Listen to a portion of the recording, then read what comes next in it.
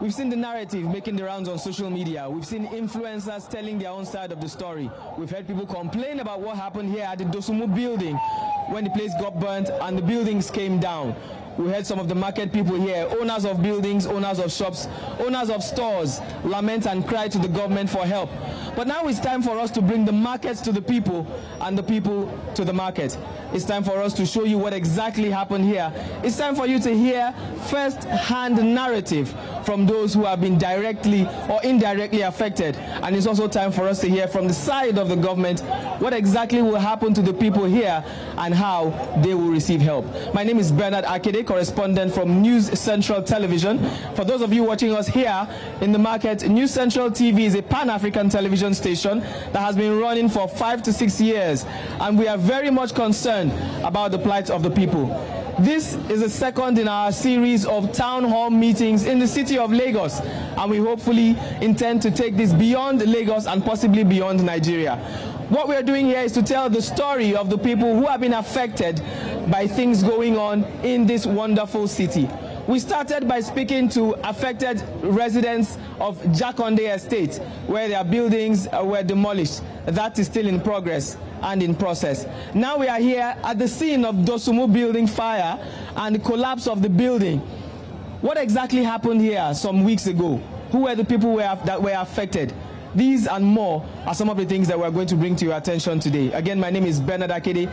Thank you for joining us in the second edition of our Town Hall series.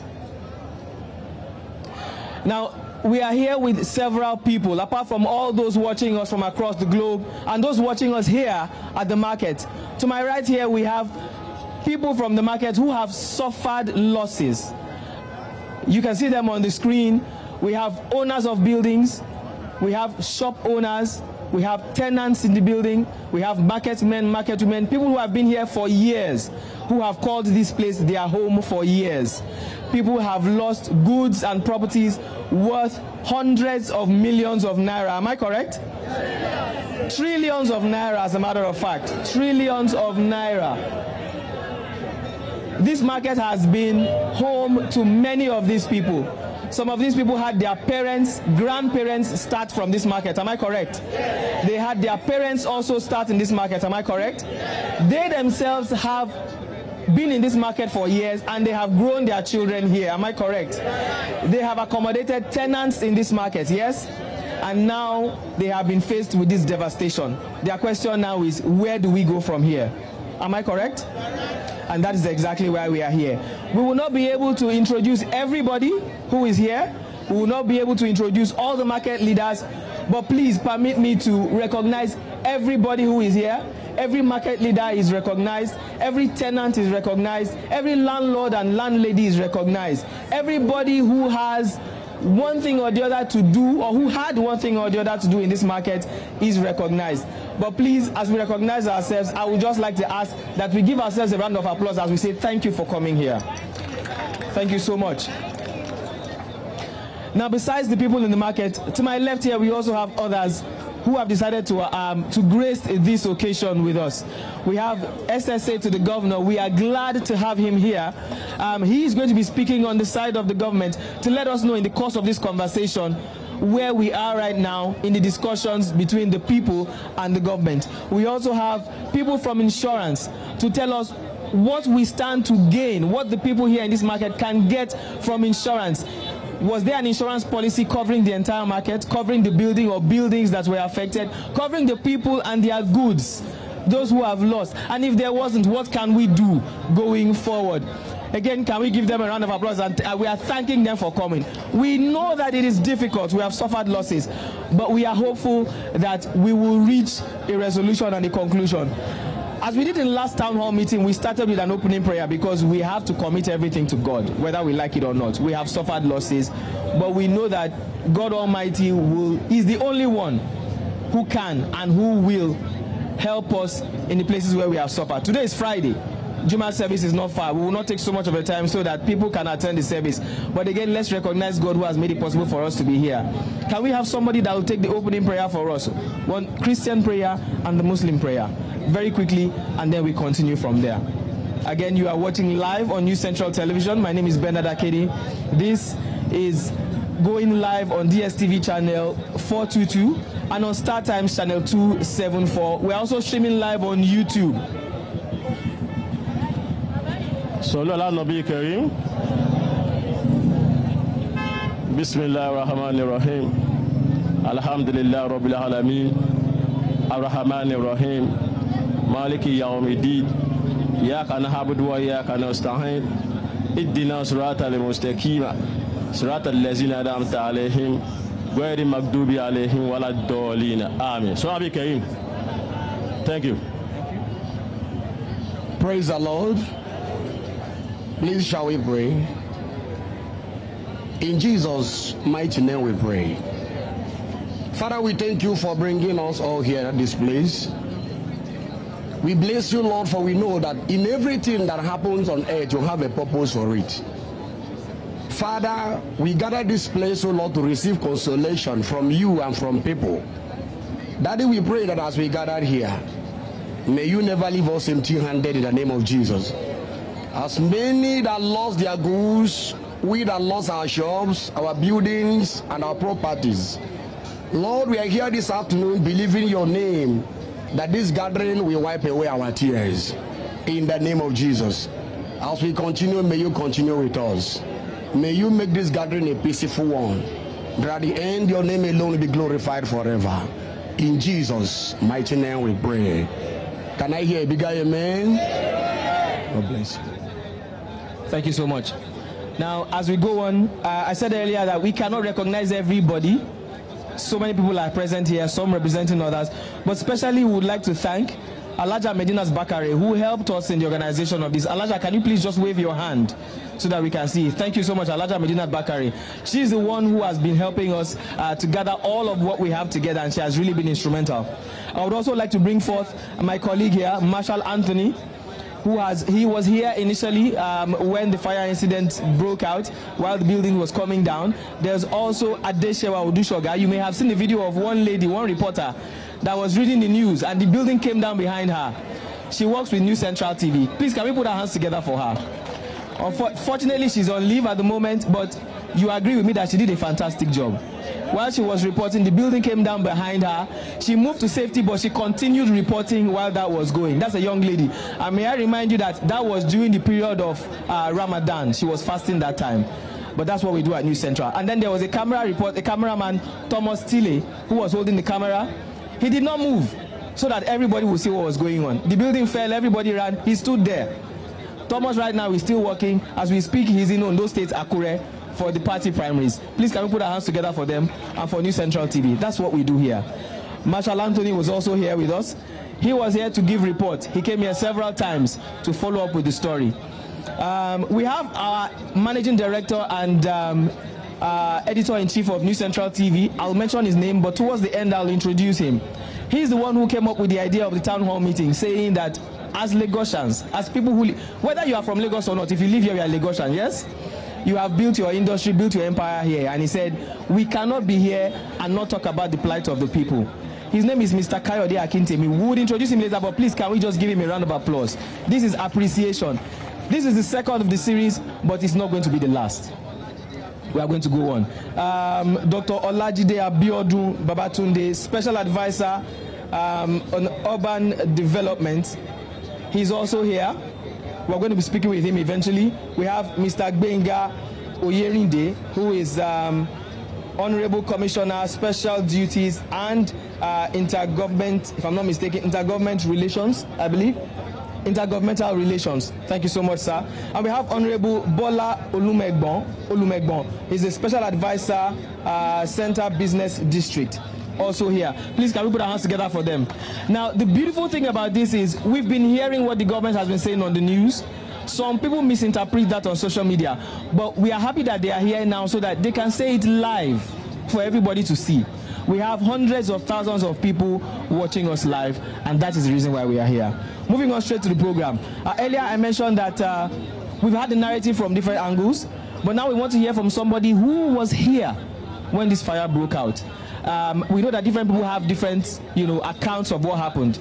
After hearing from him, we are also going to take the account of certain people who can tell us what they may have lost. when we came here earlier, some people were telling us, even over the phone yesterday, Marsha, my colleague, spoke to a lady and she was crying, considering the things she has lost. Somebody, I said millions of naira. They said no, trillions of naira. So we will hear from a few people. We're going to hear from two landlords and then three tenants. Unfortunately, we cannot take everybody's account, but we hope that we'll have this representation uh, to give us this account. Now we're going straight to hear from someone who I spoke to earlier. Um, he's going to tell us, give us an account of what happened on that day um, while the fire broke out, the places it affected. Ordinarily, people are saying, oh, Dosumu, but we got to know that it's not only Dosumu that was affected. No? Pedro was also affected, am I correct? Dosumu was affected, am I correct? Which other area again? Exactly. Which other area again? Idumagbo. So it is beyond what we saw on social media, and that is what we are going to hear now. So please come forward. Let us have your full name while you give us this account, and then we hear from others. Just two minutes, please. Um, good afternoon, everybody. My name uh, Olariwaju Said. So, okay, okay. So, as to say, okay, okay. Ẹ káàsán everybody. Orúkọ mi ni Ọláníwájú Saheed. So, gẹ́gẹ́ bí àwọn elétò ṣe gbé tó kalẹ̀, wọ́n ní ká sọ ṣókí nípa ohun tó ṣẹlẹ̀ níbí. Gẹ́gẹ́ bí on the night of April around eleven o'clock. So everybody busy. Wọ́n ṣe business wọn. Suddenly we had a fire attack at number ten Dosumu so we rushed to there to just see how we can quench the fire. But suddenly the thing get over everybody before we can say one two or three things three buildings four buildings have gone. In the time of let's say ten minutes ten minutes mass uh, ten minutes mass. So four buildings have gone. That is how everything just started. Do we still have an idea of what exactly caused the fire? There are different stories we are hearing. Some people say uh, somebody's generator was burning, he threw the generator away. So the petrol, yes. Okay, so we are trying to find, do we have an account? One bear. Ah. Okay. Uh, yes, Alaja Dosumu, we are going to call you very soon. In fact, you are the one we are calling next, but let's hear from the people. We are calling you next. Emma Boyjo. That's totally fine. Your name name. My name is, uh, good afternoon, good morning, whatever the time is. Uh, my name is Kujo Abimbola Rafiat. I happens to, my building happens to be the building across the main building that caused the fire. It was right on my face because we already opened, it was like 11 something. Everybody already settled in for the day. So we just had fire. And I was attending to a customer. I mean, normally when he says fire or something, I don't usually look around what's happening. So my boy just said, ah, yeah, yeah, Juwon, see fire across. Because I had a fire extinguisher because the last time we had an issue in that area, they asked everybody to get one or two to put in their shops. So one of my people around me just came to my place to pick up a fire extinguisher and there was another person going to the next building to pick up so to try to rescue what was going on there. But fortunately i just saw people throwing something from up basically i didn't see who the person was. But i saw them throwing kegs white kegs because i could believe that that kegs was chemical. Because the paint building of that house is a is a place that they paint. The painters that does work in the in the premises. Ah. So they were throwing several paints uh, kegs down. At the same time they were throwing petrols we were saying that what's going on? That people stop throwing things. Like you should wait for them to try and carry the kegs of petrols and come down. Because the guy that took a fire extinguisher at my place. Carried the keg of petrol. Tried to rescue to take it all the way to the junction of agarawu to try and rescue. But before I know it was less than because the moment they threw that thing down, my building was the first building that the fire cashed. And it was right in my shop. So I had to rescue my life because I even had the injury on my hand and my other guys who had one. So we needed to to just come out. So we couldn't take nothing. And less than it- it's not even up to five minutes. The building collapsed. Our building collapsed before the building that cast fire. Because the building that cast fire was still burning. The last floor and the floor after that was still burning. But her building already collapsed. Under five minutes, it's gone. And that was what I saw because I couldn't even take it. That was the last thing I had. Thank you, everyone. Thank you. That's a straight account of uh, one eyewitness. The second eyewitness, but after this, we are going to go straight to people who lost buildings and who lost properties. Immediately after this, we are going to call uh, Alaja Dosumu. We've been hearing uh, Dosumu, this is Dosumu building, Dosumu market.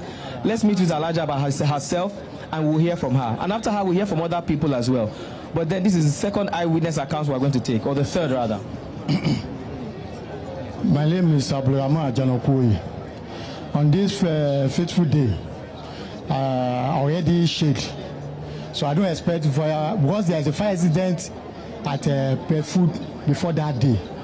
When someone come and call me, Ajanoku, there is fire. oh."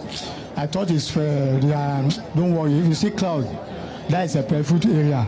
Later another person come say this is not Food though. This fire is nearby. What I did immediately that because in our association at Pedro, we have fire extinguisher in each building. So I have to consult all, every one of them, give me the fire extinguisher. I go there direct to face the fire with fire extinguisher. When I reach the next building to the, the, that actual building, I challenge with uh, my own fire extinguisher. I use first one, I use the second one. When I got back again to go and get another fire extinguisher, I instruct someone to go and do, go, go to the office and be more fire extinguisher. What I noticed that the fire is not burning at the top. It's burning from the down. Maybe because of all those things that they drop. So when I got there the third times with fire extinguisher, I see the, the fire is already beyond fire extinguisher power. So I try to use the fire extinguisher, maybe it can save more building. But my target is to limit the fire to that building alone. But unfortunately, because of all what they are throwing down, make it not possible. Before I get down from that building, the fire already reach my building. In my present, he enter my shop. I see everything burned. So it was so pathetic that I look ah, between because it's not up to ten minutes. What I'm saying is not ten minutes. Between five minutes, he already reached about six, seven buildings. Because of this incident, we have to evacuate our people to other area. So we try am- as much as best to make sure that the building that affected is not beyond that uh, number 20 and number 22 Dosumu. So we try to mobilize uh, all these area boys and all uh, everybody to make sure that we put in fire, uh, pure water, whatever is available to make sure that it's not affected the other building. Thank you. Thank you very much. Now we've heard how the fire started from eyewitness accounts. Um, in the past four years, I have come to this market. I have covered. This will be the fifth fire incidents I've covered here. Unfortunately, we've been having repeated fire incidences. Somebody's correcting me. This is the sixth actually.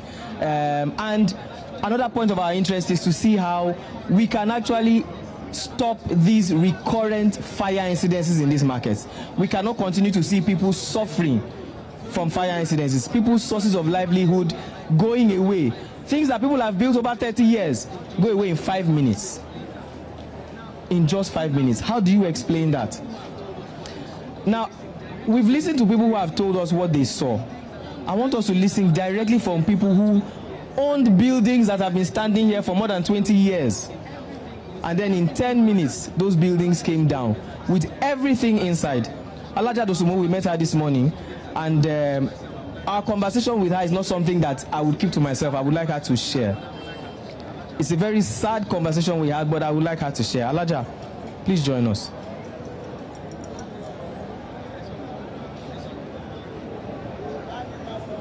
ẹ sọ yorùbá. yes ma.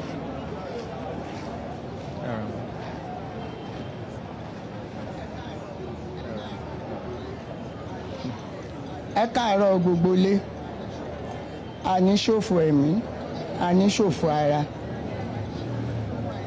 Ohun tó ṣẹlẹ̀ yìí ó wà in shock for me. Immediately tí mo rí fire lókè nọ́mbà ten dùsùn mo sáré mo ń ṣe help help help help. Ẹ wá help wa ẹjọ́ torí ọlọ́run o. Àwọn tó lọ sókè gbogbo kẹ́gì ń rí ló ń tú owó ẹ̀ sísàlẹ̀ gbàtọ́jà ń tú owó ẹ̀ sísàlẹ̀ agbára wo ò gbé torí kò sí omi lára àǹdí wa ń bí báyìí. Ta lè fi help? Bó dẹ̀ ṣe ń káàsì yẹn bàbá súnmọ́ jù ó ń rà wá báyìí ó ń rà wá báyìí. Èmi ò tí ì rí iná tó ń nàró sókè tó ń sọ̀rọ̀. Iná tó jó yìí ń sọ ọ̀rọ̀. So so so mo ò tí ì rírú ẹ̀ rí. Ó nàró sí títì báyìí. Títì dòsùnmú kí n dòsùnmú ló ń di sí street yẹn títí dé down akíntóye dòsùnmú bàbá ńlá mi ló ń yí tó bí dòsùnmù ló ń jẹ́ akíntóyè síríìtì tí mo wà ibẹ̀ lọ bí mi sí number five dòsùnmù i'm going to seventy years old now. Which work i wan work? The building wey daddy give to me everything don collapse. E don burn finish. Both my shop both my store everything gone. Please help. God go help you too please. Mo bẹ̀ bẹ̀. Bíbí ṣe máa padà sí Dosunmu street i no want any elders kankan. I no want Dosunmu again. Na dem cause all this trouble.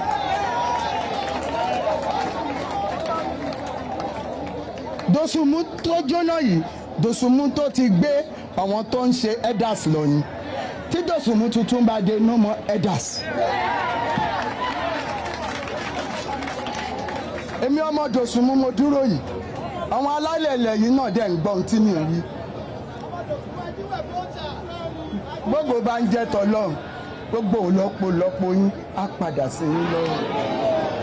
mo dúpẹ́ lọ́dọ̀ Ọlọ́run pé kò sí ìtòkùnú yín ẹ ní fọmọ yín di ọjà ẹ ní wá tajà níbi tí ìdààmú ti máa máa bá yín. ilé tí bàbá ti fi sílẹ̀ láì mọ iye ọdún tí mò ń jẹ. Ọmọ èkó à ń ṣiṣẹ́ o. Property tí bàbá filẹ̀ fún wa la máa ń jẹ. Gbogbo property yẹn ló jóná yìí. Kọ́lọ̀ ń ṣàánú kó bá mi dá padà lé wa. Na help àdé nǹkan na help.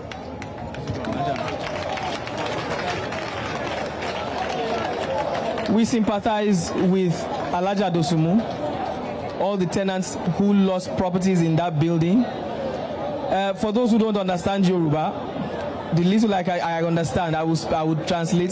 Alaja explained what happened, how that fire happened. She explained, she talked about the building. She said she has never seen a fire like that before. She also talked about people in Lagos here. She said what they survive on is the property left behind by uh, by by those who left those buildings for them. That is what they survive on. She is almost 70, almost 70 years old. Which work can she work? There's nothing she can do again but that building where she was eating from. Now the num the noises you are hearing, we have people on the other side. You will see that very soon. They are raising placards. These are people who have also suffered losses here. You will see them uh, in the course of the program, asking for support, asking for help. Alaja was in tears just now, and there's so many others like that. We're going to call a second building owner as well, who's going to explain to us, who's going to tell us what they too have lost. Let's see if we can put into account, if we can even quantify some of the things that have been lost in that fire. who's the second landlord that we want to call? Who's the second landlord that's coming? Alaja Modino. Alaja Modino.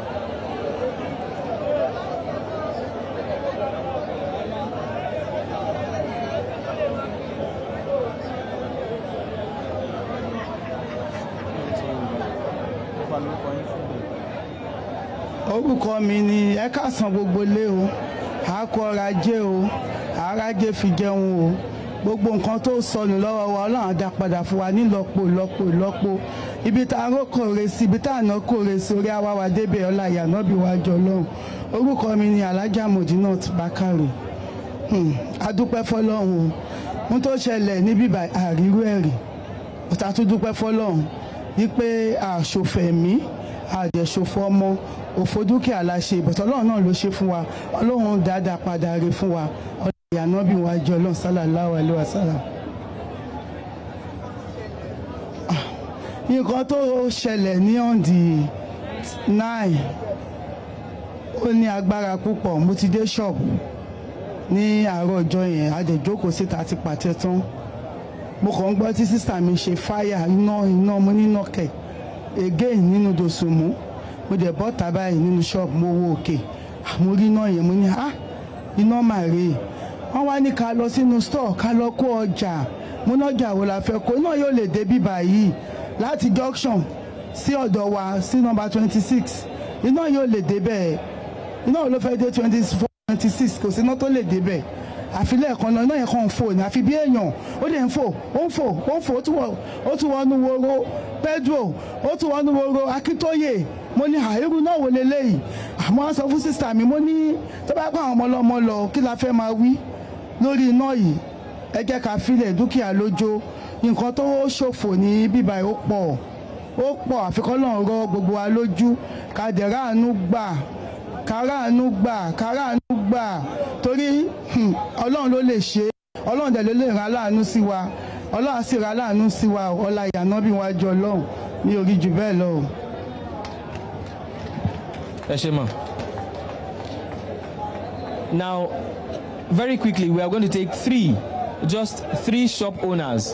We cannot take everybody, but three shop owners who will quickly, in one one minute, tell us what they were selling, what they lost, and how it's affecting them and their families. And then after that, we are grateful. We have representatives from the Lagos State government who will tell us where our conversations are now with the government. We are going to take three shop owners. Emma Bomo.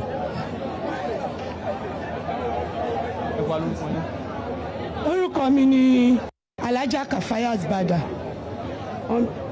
à ń ta àwọn ghana go nylon packing shirt nylon hanger so number forty ìnílé bàbá ìyá mi karimu kọtun ajírọ́bọ̀ of lagos.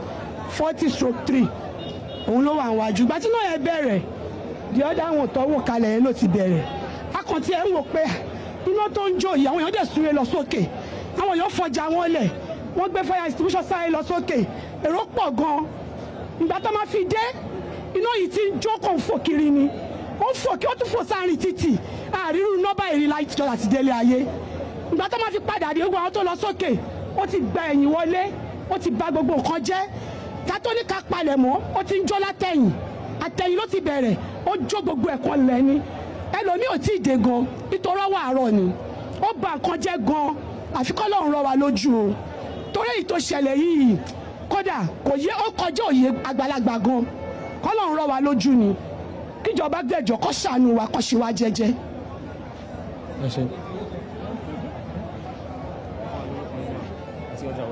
Okay. I'm Mrs. Ishola, TA. I'm at Pedro number 22. The incident, we really don't know how it happened, but it was under two to three minutes. Ajanaku really tried for hard with the uh, fire extinguisher, but the thing is beyond every every every other thing. We don't really know what to say. I said pajamas, children pants, singlets. We lost everything at Pedro. Number 20, number 22, it affects us at Pedro. We lost our shops and we lost our uh, stores. Every garden thing, we couldn't pin, pick a pin. We, have, if we ask to quantify what you lost, how much you we can't quantify. We have store, we have stores. I have three stores. And so many other people. There are some of us that, have, that own a whole floor as a store. And we have uh, shops, uh, our shops, all equipped with quality things, underwears and pajamas. Everybody at number 20 and 22, do Pedro, we lost everything. So we are, we are begging people to assist and help us out. Please. Thank you.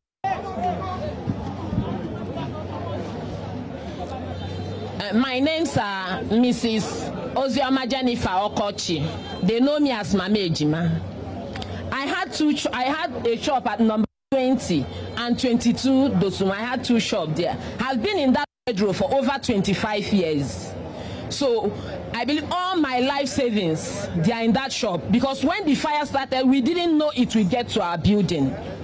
We were just looking and saying that it will not get to our building. Before you know it, it, it is not even up to five minutes. It got to our building. We had to run away. We had to run away for our lives. So I believe the government will help us. I, I did not remove anything from my. I have two shops. I have two shops there. I did not remove anything, but I'm believing God that God, in His infinite mercy, will help all of us. In Jesus' name. We can only take one more, one more person, and then we move on. hello. Salamu aleykum o. Orúkọ mi ni títílayọ̀ mò ń jayé lọ́wọ́ akíntóye ẹ jọ ń torí ọlọ́run ẹ bá a bẹ lọ́hùn sínú ọjà dòsùn kọ́ lọ́n bá a kún gbogbo ẹ̀ ṣe. Gbogbo bí tí wàhálà ìgbé tí ń bọ̀ kọ́ lọ́n bá a mú kó torí nílùú fẹ́ńbà ní gbogbo kíni kọ́kọ́ ṣẹlẹ̀ ilé mẹ́ta ló jóná. Ó tún jẹ́ on the twenty on the twenty last month mẹ́rin tún jóná. Gbogbo ẹrù ló wà ń bẹ̀. Gbogbo floor tá à ń lò délẹ̀ ó jóná. A tún lọ nọmba twenty four dòsùnmù the same thing wọn bá tó tún kù tá tún rí kó káàkiri ó tún jóná náà. Kò sí nǹkan kan máa wà báyìí.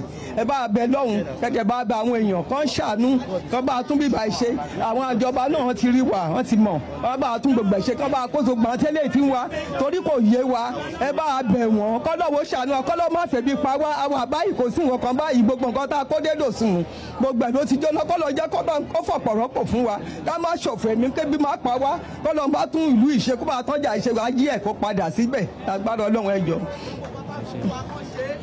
We know there are so many people who want to talk, but we can't take everybody. We're just going to take one last person, and then there's others that we're going to talk about. My name's uh, Mrs. Obioba. On that fateful incident, I was not around. I traveled. This my shop is at number seven Dosumu. We lost everything. Me and my husband have labored for 20 something years as it stand now. I don't have any hope for where I get money to feed my children for now. Everything gone.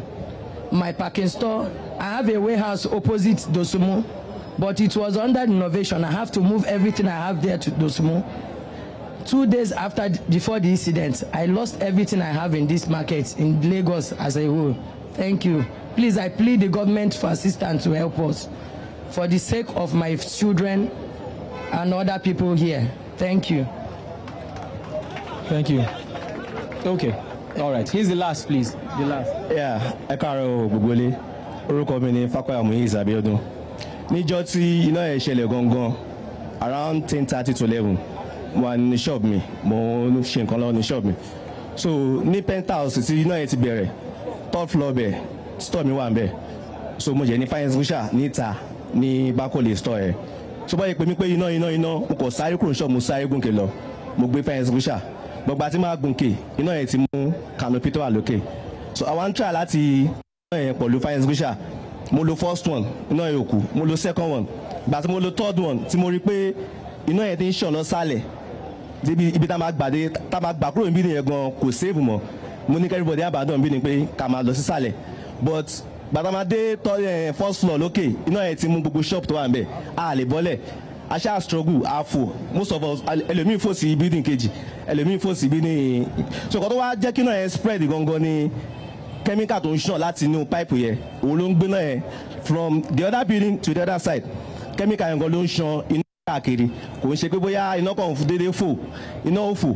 Chemical yẹn ló ń ṣàn bó ṣe ń ṣàn lọ bó ṣe ń mú everything ló ṣe ń mú gbogbo ẹ̀ lọ storm mi wá lókè ni mo sáré dùn náà pé kí n lọ paná. Ìgbà tí màá dé sálẹ̀ ó ti mú shop. So the shop the store everything ló lọ. Àárín kankan mú jọ náà. So abẹ lagos state government kọ́ jọ nítorí ọlọ́run kọ́ ṣàánú wa. Kọ́ máa wọ̀n àrùn ibi ń pa gbogbo wa kọ́ jọ. Nǹkan tó bá lè ṣe fún wa kọ́ jọ ṣe fún wa. federal bẹ́ẹ̀ ni federal àti gbogbo ẹ̀ àti state àti federal gbogbo nǹkan tó bá lè ṣe fún wa kọ́ jọ nítorí ọlọ́run kọ́ ṣàánú wa kọ́ jọ nítorí ọlọ́run kọ́ ṣàánú wa kọ́ má gbà lọ́wọ́ wa kọ́ ṣàánú wa nítorí ọlọ́run afọlọ́run bẹ̀ wọ̀. Okay. The last, the last we will take. Okay. I'm Idayat Allison. Uh, number 10 Dosumu has been my mother's uh, selling point from when I was young, maybe two years. So I took over the shop from her. And that day I traveled, I wasn't around, I traveled to London for two months. I locked my shop. People from US London start calling me. Go to your shop, go to your shop. There is fire in Dosumu. And I was like, what fire? I plan to open my shop after the Eid. And I'm like, fire. Am I, what can I do? Anyway, I came. Coming to Dosumu, I was told, I even saw my shop. Fire is gushing out like hell. My store, my I use a whole floor in number seven Dosumu. That's where my storage is. I just offload two 40 feet container with what I've got in the past before I left to London. Everything went, and my shop went away. And I'm even the number seven Dosumu and number 10 Dosumu building fell right in front of me. I was standing there around 3 3 3:30. And I was told that is a generator, whatever that happened, that somebody was trying to repair a generator. And the guy didn't off the generator and he poured petrol inside. And that's when the fire blast. And the guy had to run for his life. And coming, uh, then the guy panicked. He didn't even call nobody, he just left. And people had to come back to come and see what they can do. This my brother that just spoke last, Papa, came with a lot of extinguisher to try and see what they can do. They had to run because it's too much. He's overpowered everywhere. And that's what happened. And they said they were throwing chemicals and petrol from upstairs. And you know, my number seven Dosumu store, it was on this side. This side of the building. And number 10 Dosumu is on that side of the building. I was surprised that uh, fire from 7th crossing over to the other road. It's a shock. We are just begging the government because right now we are penniless. We are penniless. Trillions. My sister, my sister Morfat Allison, she lost three buildings. She lost three buildings. And her husband lost a building. This is too much. This is too much. It's not something we planned for. We just beg the government, federal government, Lagos State, they should help us. Help us. They shouldn't give us fake promises. They should not say something and later we, they'll just abandon us on the side. No. Let them do something for us. We are begging. Whatever they say, they should do it. And don't give money to the landlords. Give it to we. You can help the landlords, but at the same time, we that we are shopkeepers, store owners, sh- you should help us. Help us. That we are writing names every day. We don't want our names to just throw under one office. We want it to work on it and give us something. I will come out again. Please help us. We are begging. Thank you. Elijah, before you go, have, has there been any communication from the government yet to the market? No, not yet. Someone who just came and talk, talk, talk, talk, talk, and all he said is, any any house, no pity or no pity, no pity, no feelings. They don't act like they have blood in their veins. Yeah, he's, he come and talk, talk, talk, talk. All he said is, any building that don't have paper, they're gonna demolish it. They're gonna demolish it. They don't talk like they have feelings talk like they have feelings. They said any any house that doesn't have papers, they are going to demolish it. And they started using their bulldozer to spoil everything more for us. They started using their bulldozer to spoil everything. Then even when I came that day, I look at the fire people. All of them are standing doing nothing. Doing nothing. I had to shout on them. I said, We need water. We need water. Go to Osa. Go and pull water. Go to uh, uh, beach. Go and bring water for us. We need water. And they said, Hey, Elijah, don't back like this. We have used four water. We have used four water. I said water. Do you want the whole Dosumu to burn down? You guys are just standing there looking. This is unfair. This is unfair. Please, government, do something. Do something. Thank you. Thank you, Alaja. Um, unfortunately, we can't take everybody. We can't take everybody. Please.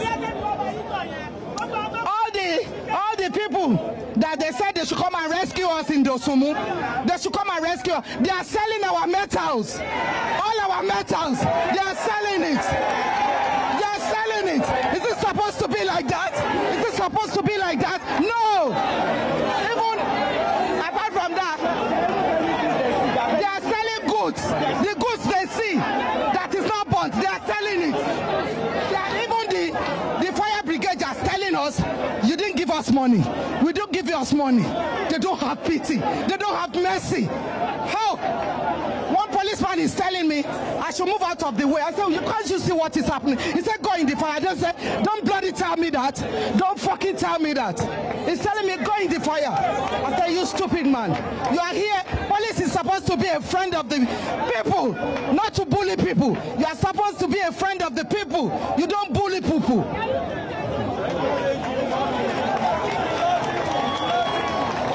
We totally understand the emotions that you are seeing right now. The emotions that the people are bringing out now. We can see the feelings that they are having. We see, and that's why we are here. That is why we are here. We understand your plight, and that is why we have come here. So that what you are seeing, what, what is coming out is not just audio noise. It's not just social media noise. It's not just newspaper noise. That's why New Central TV is here. So that we can take your voice we can let the people see your plight. We can let them hear what you are saying and even hear what you are not saying. Now, what Elijah just said about people taking the, the leftover things here, nobody has heard that before. We are hearing it for the first time. But we are grateful that we have members of the government, like you mentioned, the officials of the government who are also here, and we are very thankful that they came. We are happy that they have come. We know that the governor was here, but he cannot be here every day, and that is why he has officials here. I'm very happy that we have some here, and I would like to call Dr. Olajide Abiodun Babatunde. He's the Special Advisor, EGIS and Urban Development, Lagos State. Please, can we put our hands together? It is good that they are here. It is good that they are here so that they can respond to what you have said. And they can tell us where we are now with conversations concerning what to do about Dosumu and other affected places. Thank you so much, sir.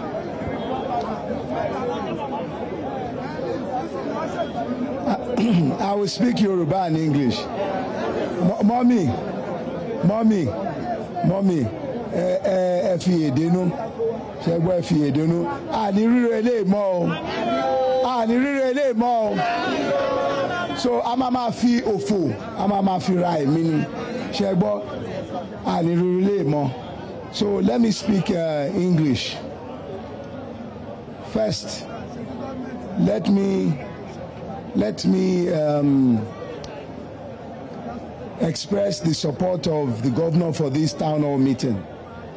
You know, Mr. Governor has asked that uh, the Honorable Commissioner for Special Duties, um, Mr. Benga Oyerinde, who is sitting right here on my left, the Honorable Special Advisor, Central Business District, and myself, um, the Special Advisor, EGIS and Urban Development, should come here to represent him. We've also been joined by the Permanent Secretary, Director General Lasema, and also the DG of the Safety Commission. We have a, uh, quite a number of our other staff who are sitting around, you know, just to honor this gathering. Um, uh, thank you very much. I just wanted to mention that as we go. So we have listened to the accounts by the owners of the building. We have also listened to the account by the shop owners who are their tenants and also concerned citizens of Lagos State. And I want to say that uh, the accounts are near correct. Particularly the fact that at number 10 Dosumu, a generator was working, powering a building, and while that generator was working, maybe the fuel was going down, and uh, the, the the victim because he's also a victim the primary victim tried to refuel the generator. And while he was doing this the generator uh, started burning. So and he had several jerry cans of uh, uh, petrol you know on the on the topmost floor where he was uh, powering this generator. And he felt that the best thing for him to do so that um, i mean the building itself does not uh, get completely burnt was to throw down all those jerry cans of petrol. You know and as you have heard this building also contains uh, some chemicals and some highly inflammable materials that were being sold there you know which also helped you know to um, propel the, the the burning fire. I think um, first agbọ́dọ̀ bára wa sọ̀rọ̀ tó jó tọrọ you know and um, you know mr governor was here. You know we did not even know that he was going to come here on that day because he did not inform us. We had a town hall meeting you know because i mean ẹja sọ wọn ní tó tó atábádé bíi òótọ́ ẹja sọ. Wọn ní tá a máa parọ́ a máa kú. Tá a máa sòótọ́ a máa kú. Ẹ ṣe jẹ́ ká kúkú sòótọ́. Our canopies were on that side the intention was for us to have a town hall meeting and we invited quite a number of people including community leaders the local government chairman and even uh, our leader that's Fuad Oki. He was here with us.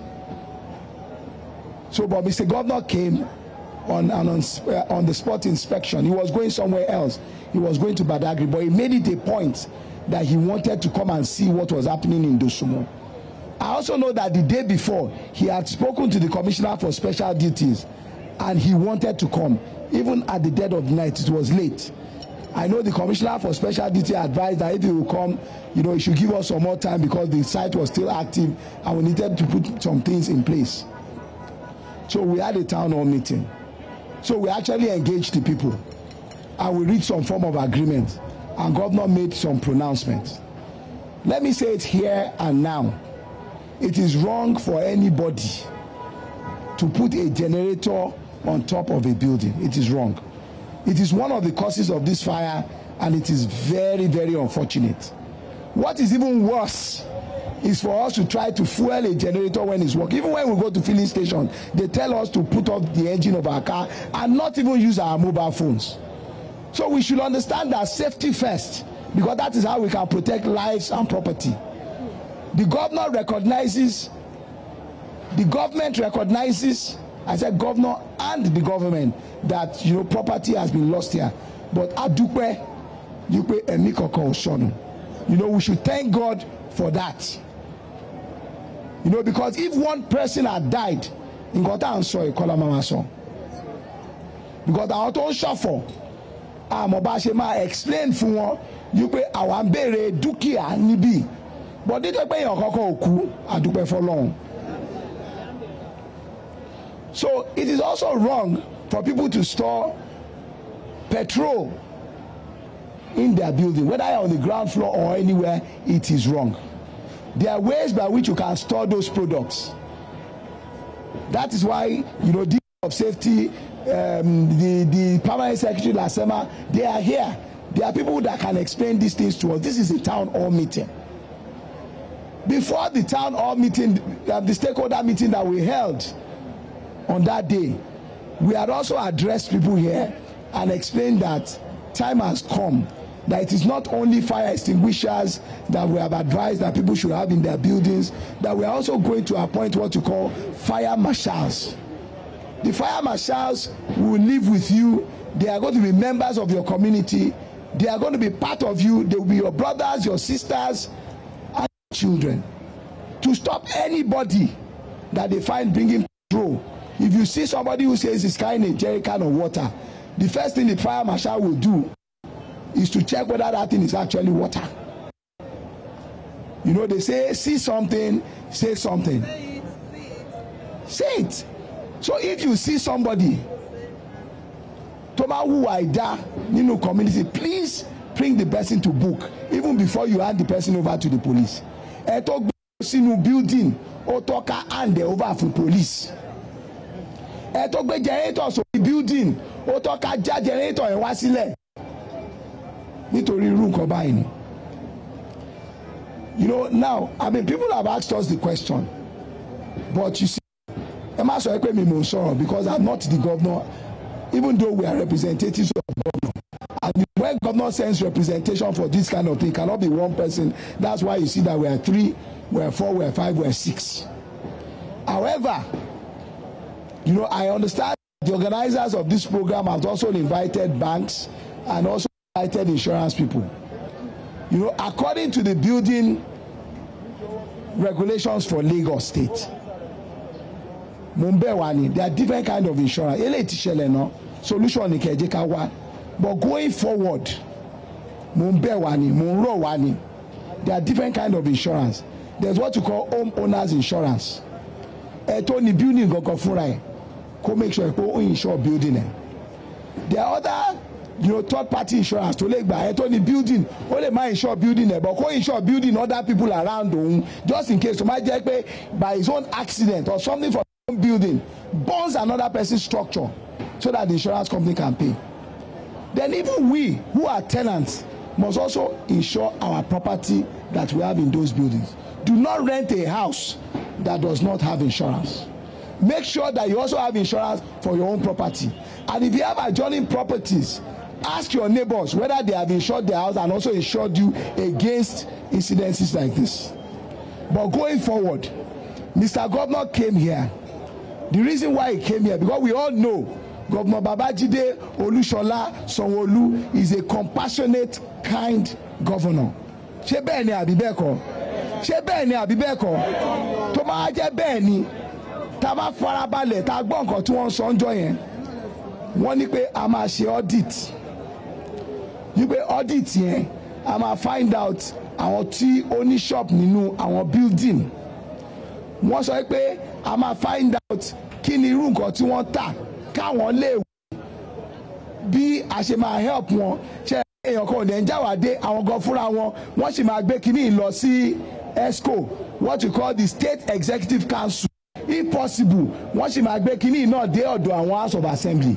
Because budget is a budget and it is a law and the governor must obey the laws. However he has the machinery and he has the the powers to do whatever he has to do in an emergency situation just as it happened during covid.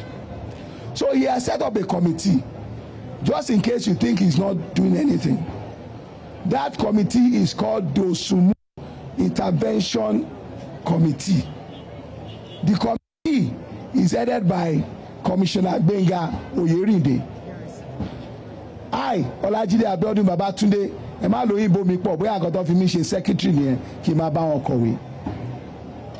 then we have other members of the committee which includes the SA CBD the commissioner for physical planning the general manager building control agency the permanent secretary director general lasema the DG safety the chairman of Lagos East Lagos West your representative in the House of Assembly Honourable Lara Olumegbon and also a committee, leader Fuad Oki. Ṣé mo gbàgbé anybody? Mi ò gbàgbé anybody. And we have had our ẹpẹlẹ the the san we have had our inaugural meeting just a few days ago as directed by Mr. Governor.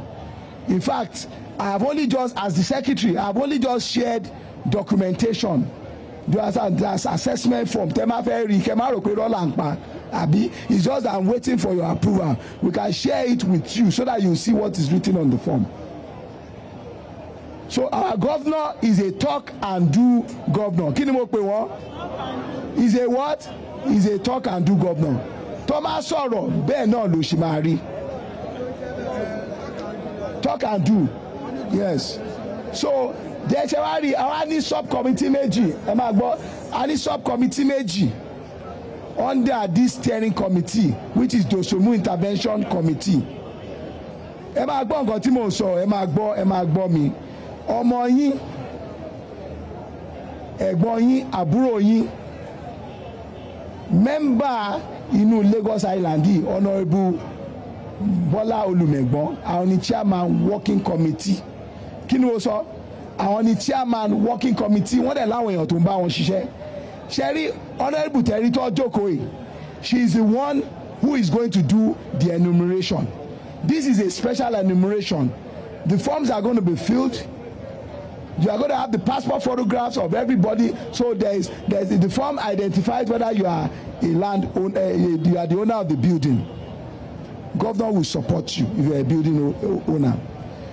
The form recognizes if you are a tenant governor will sup support you. Inside that form it will also ask you what is it that you have lost or that you are selling? And i think there is an attestation that says i attest that i the undersigned freely state that everything that i put here is nothing but the truth. And i understand that i can be held liable do you understand? Or held in contempt if i give any wrong information. Ó dà pé ní form yẹn bó ti kà mo lè má wà accurate but the form says that. And you know there are different levels of verification. That's why you have the chairman lagos east chairman lagos west. You have honourable lara olumegbon who are members of the working committee. So the chair so the members of our committee includes includes the two chairmen of the local government.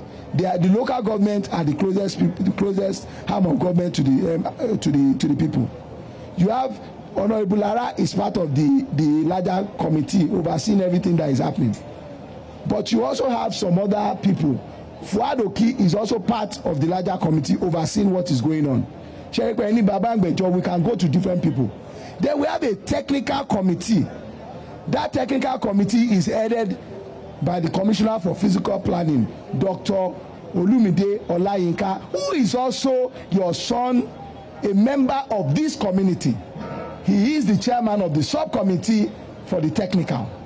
The technical are going to be doing you know some assessment of the buildings that have been demolished looking at certain things and giving some advice. And you know he has with him digilas the dmps digilas sema uh, ps safety uh, general manager building co um, building control agency and a couple of other people. Nothing stops the subcommittees chairman sir from also co-opting members of the community. You have called us to several meetings. Even on sundays we were here. On saturdays we were here. We were here every day. Some of the things that we are doing are regulatory because when the fire happened in mandelas i mean honourable lumegbo and and the commissioner for special duties will tell you our trucks couldn't enter. And in mandelas we had to bring down the generators. The mosque behind us here you see that on their own they brought down the generator. Charity begins at home. Ile latin kẹsàn ròde so what it means is that we ourselves must begin to look inwards first we must love our neighbor as thyself that's what the bible says you know at the stakeholder meeting you understand what we were hearing there is this group and that group there is no group oh. there is no group I heard people saying we are counting scores. It's not one one. There's no scores. So this is I don't want to say it's an act of God. It's human intervention. Do you understand? I mean, I mean, it's human accident.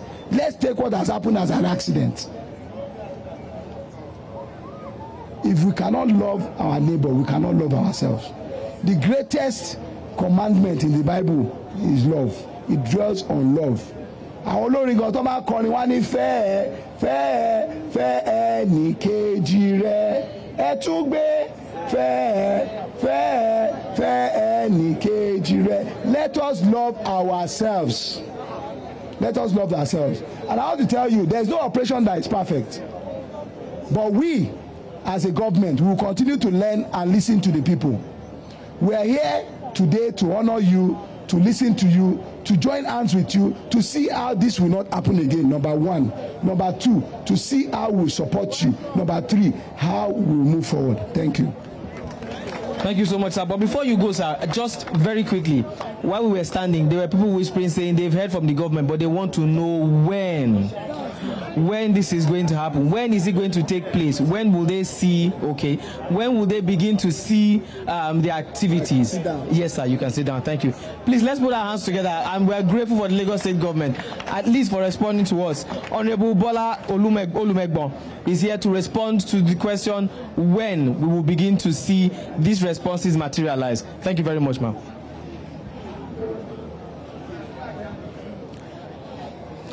Good afternoon, all. Well, I will throw the line of my predecessor, my brother. I will speak English and Yoruba. Amúlùmálà ni màá fi ṣe. Mo kí gbogbo wa o. Ẹ káàárọ̀, ẹ káàsán o.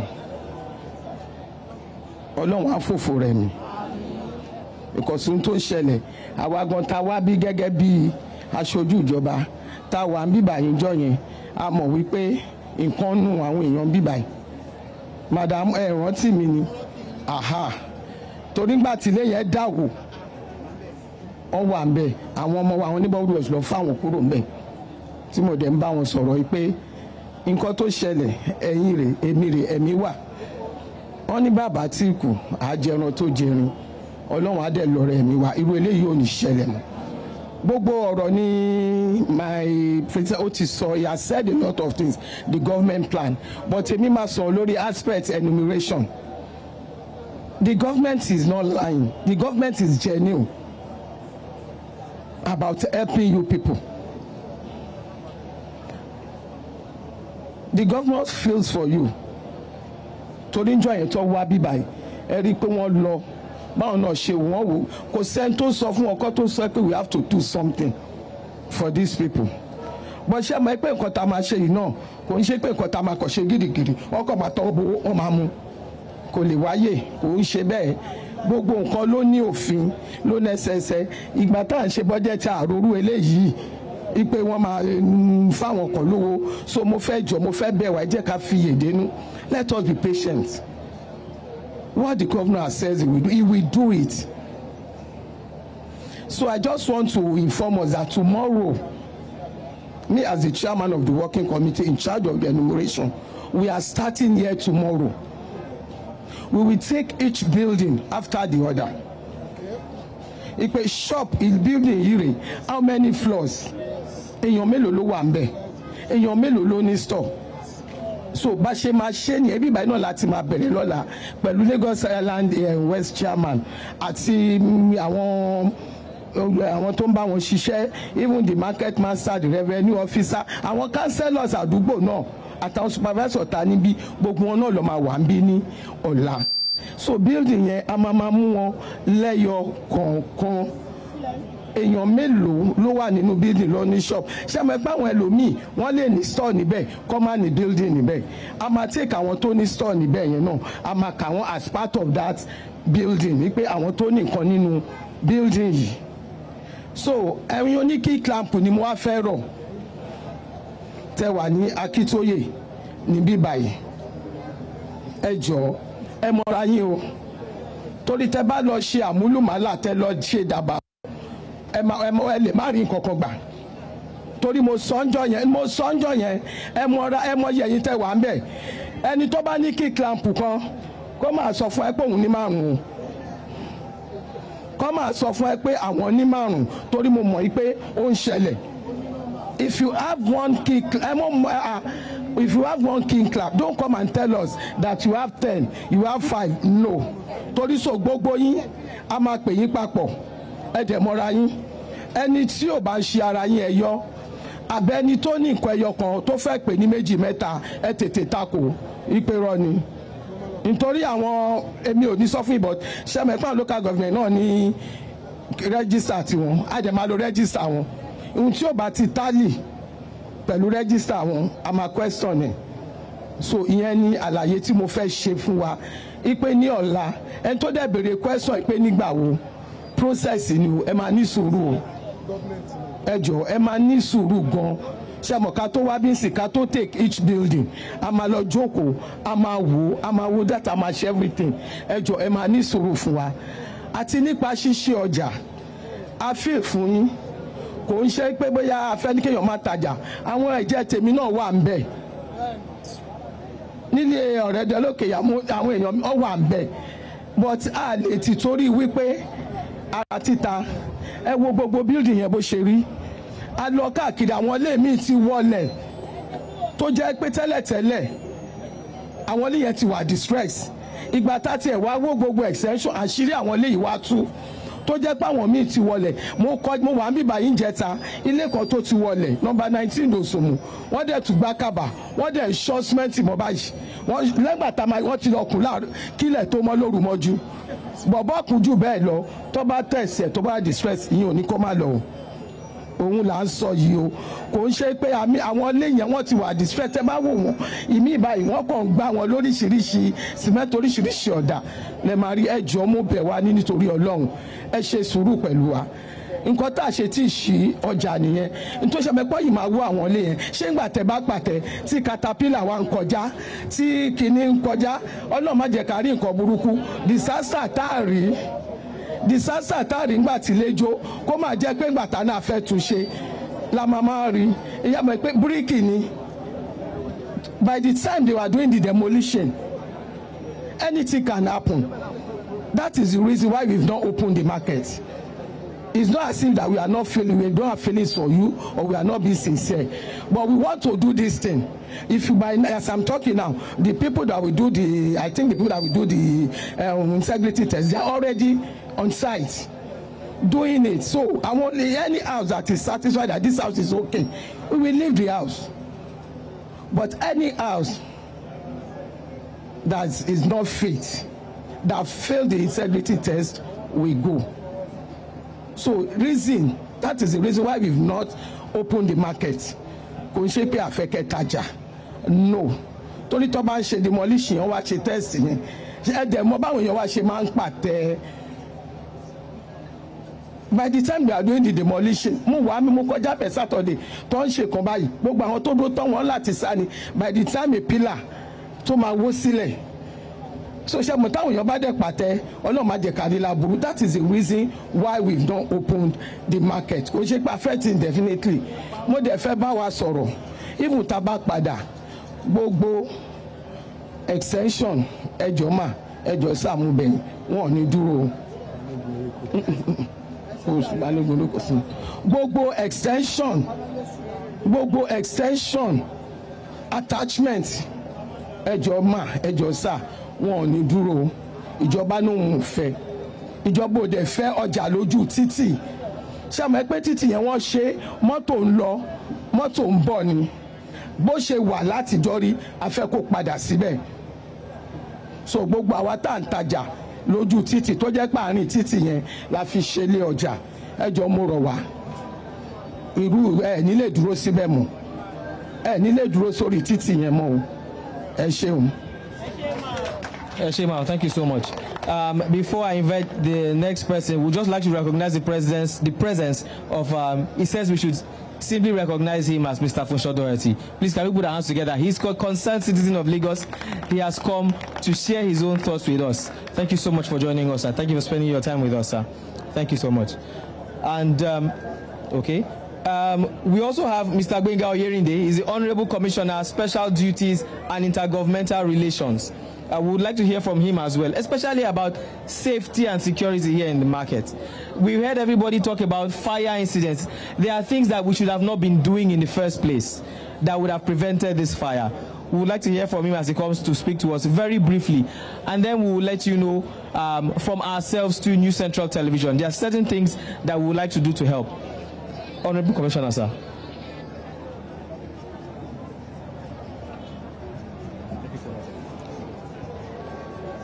Mo kí gbogbo ilé ní ọ̀sán yìí o. Ọlọ́run á bá fi òfò rẹ̀ mí. Mo rí i pé láàárín yín èmi náà jẹ́ kan. Èmi mo gbé ààyè CBD yìí sílẹ̀ tí sísítà mi wá gbà. Gbogbo nǹkan tá ti ń sọ látàárọ̀ kò ṣe nǹkan tó jẹ́ àjòjì sí gbogbo wa nǹkan tá a ti ń sọ lérèkóòrè ní gbogbo ìgbà ni. But ìṣẹ̀lẹ̀ tó ṣẹlẹ̀ yìí ó jẹ́ nǹkan tó bà á lẹ́rù gan. Tẹ́ bá rántí èyí tó fẹ́ fara pé ìṣẹ̀lẹ̀ tó ṣẹlẹ̀ yìí òun ni èyí tó ṣẹlẹ̀ ní Martin Street ní 2021 ọlọ́run ni ò jẹ́ kí èmi commissioner for special duty nígbà tí bídì yẹn máa wálẹ̀ tó bá jẹ́ wálẹ̀ vertically ni ó máa consume gbogbo wa ni but nítorí ó wálẹ̀ horizontally gbogbo rubbles tó bọ́ yẹn ó hùn gbogbo wa ni. Kí náà ń try láti sọ bí báyìí? Tí n bá jáde láti wá sọ̀rọ̀ gbogbo nǹkan tó yẹ ká sọ làwọn èèyàn mi ti sọ. Ṣùgbọ́n tí n bá jáde láti wá sọ̀rọ̀ á jẹ́ pé àmọ́ nǹkan tá à ń ṣe ni. Ó jẹ́ nǹkan tó bà mí inú jẹ́. Nígbà tí alájà jáde tó ń fi ẹnu àtẹ kan ọ̀gá wa fún àwa tí a wà mí báyìí bá rí wa lọ́jọ́ yẹn bí iná yẹn ṣe bẹ̀rẹ̀ báyìí láti débi báyìí. Na then coordinate gbogbo activities yẹn. Tí yóò bá ṣiṣẹ́ tí a ṣe lọ́jọ́ yẹn ni nǹkan tá à ń sọ yìí kọ́ náà máa sọ. Nígbà bá mú òótọ́ bíbélì sọ pé tàbá mú òótọ́ òótọ́ aṣọ wa di òmìnira. But nǹkan tó ṣẹlẹ̀ ní pé wọ́n ṣe ń sọ kínní yẹn kò yẹ kí yẹn dẹ́gbẹ̀mí báyìí náà òun ló ń jẹ́ pé wọ́n ní pé iná yẹn ń fò ó ń sọ̀rọ̀ iná yẹn ń fò ó ń sọ̀rọ̀. Kí ìṣẹ̀lẹ̀ yìí tó ṣẹlẹ̀ about three weeks before na ti wá ngbà tí first first uh, first first uh, story building tó kọ́kọ́ ṣẹlẹ̀ mo bá mo bá àwọn kí stakeholders sọ̀rọ̀ tàdéjọ sọ mọ́nà. A tún send àwọn èèyàn wá níbi tí wọ́n kó àwọn nǹkan olóró sí tó lè faná. Adẹ̀tibẹ̀ ibi kan kó àwọn kíní yẹn jáde. Wọ́n kó jáde. Bí ká àwọn kíní yẹn ṣe tún padà sí inú ọjà. Àwọn ò sí mbẹ̀ ṣe bẹ́ẹ̀ yín náà mọ̀ kò sẹ́ni tó padà tó wá sọ fún wa pé nǹkan olóró wà ń bẹ̀. So ẹni tó bá jẹ́ lórí gẹ́gẹ́ bí alákòóso ènìyàn tí nǹkan ti ń ṣẹlẹ̀ a lè sọ fún yín láti January up to date ní Lagos Island ìṣẹ̀lẹ̀ iná tó ti ṣẹlẹ̀ ó ti kọjá méjìlá náà kò ṣe kékeré. Owó náà náà ná. Kẹ́míkà tá à ń lò yẹn wàhálà tá à ń ṣe àwọn òṣìṣẹ́ tá à ń kó wá owó nìyí òun ni ẹ wá sọ́ọ̀sìn ó ti ṣẹlẹ̀. Àtìtórí ẹ̀ ká da yín lágara. Àwa láti wá ṣe enumeration wọ́n ti sọ gbogbo process yẹn. Láti lè fi rọra lọ́wọ́ ni ọ̀gá wa wá wá. Kò ṣe pé ó dùnnú wọn. Bí kíní yẹn ṣe ṣẹlẹ̀ náà jọ communicate. In fact mo lè sọ fún wọn pé tó máa ṣe pé ọkọ̀ but you see that distress he wasn't too happy nǹkan tó ń sọ fún mi irú ìṣẹ̀lẹ̀ náà burúkú wò ní léyìí that's the language he expressed on the phone. And gbogbo wa náà náà mọ̀ wọ́n. Wọ́n ṣe èèyàn tó jẹ́ pé ọ̀dájú èèyàn ni wọ́n. Láìmọye ìgbà náà ti dá sí àwọn àwọn nǹkan tó kàn wá ní ìpele ìpele. So eléyìí á wá ṣe wá ṣẹlẹ̀. Tó máa dé tó máa ṣe pé wọ́n expect táwọn tẹ́nìkan máa sọ fún wọn pé ọ̀gá kan sọ̀rọ̀ ó jẹ́ nǹkan tó bà mí inú jẹ́. Ordinarily kò yẹ ká jáde láti wá sọ̀rọ̀ àfikún sí gbogbo nǹkan tó ti sọ yìí. Because gbogbo nǹkan tá à ń ṣe ó ní process ìjọba nílé yìí èèyàn kan ò lè dédé tọwọ́ bọ inú àpò ìjọba kó lọ kówó jáde. Àwọn international community tẹ́ bá rí lọ́jọ́ kẹta tígbà tí náà ìṣẹ̀lẹ̀ àwọn nema náà wá síbi bàtàjọ wà ń bí báyìí náà ni. For good five days twenty four seven and report síbi báyìí ni just because for them to show commiseration and show sympathy with us. Knowing truly well that a lot of investment have gone in this fire. And that's the more reason why we are making that appeal. Ẹ exercise patient pẹ̀lú wa. Tí ẹlòmíì bá tiẹ̀ dé tó bá sọ̀rọ̀ nǹkan míì tó fẹ́ ta mọ́ wa tó fẹ́ ta mọ́ ìjọba tó fẹ́ ta mọ́ ọ̀gá wa á ṣe ọ̀dájú ènìyàn náà. Ṣé bí ìbòyín ló gbé wa wọlé? Ìbòyín ló gbé wa wọlé náà. À ń ṣọ̀dájú ènìyàn náà àti bá yín ṣiṣẹ́ láàmọye ìgbà. Nǹkan tẹ bá fẹ́ náà ń bá yín fẹ́. But nǹkan tó máa pa yín lára ta sọ pé àfẹ́ yẹn òun lẹ máa tẹra mọ́ láti máa ṣe tí ò dẹ̀ da tó. So ká láti máa tẹ̀síwájú nínú àjọṣepọ̀ wa gbogbo nǹkan tá a pa àfẹ́ yìí abẹ́yìn ni arọ̀ yín ni. Ẹjọ́ ẹ bá a jẹ́ kó dópin bẹ́ẹ̀. Níwọ̀n bá àgbà tá a ti bẹ̀rẹ̀ kínní yìí náà a tún ti rí àwọn ilé tó ti ń ta petrol àwọn safety commission àwọn tíìmù wa tó ti ń ṣe enumeration yẹn àwọn ilé tó ti ń ta petrol wọn wọn no kàn bí báyìí náà. Wọ́n dẹ̀ tún ti ń ta dì sí i wọ́n sì ń ta dì sí i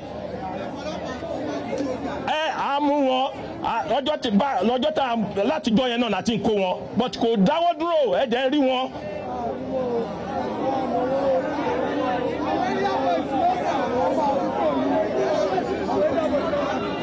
Ẹ ṣe ẹ ṣe ara bá ṣe máa ń sọ nìyẹn. Mo sọ fún yín pé ara yín ni mo jẹ́.